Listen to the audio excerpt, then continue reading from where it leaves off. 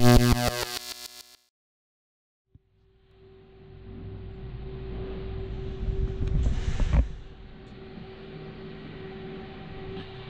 is a UFO cross folder by Morgana, powered on 230 volts AC.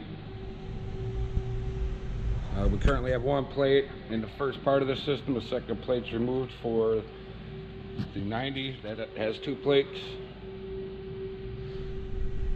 Fold some sets here for you.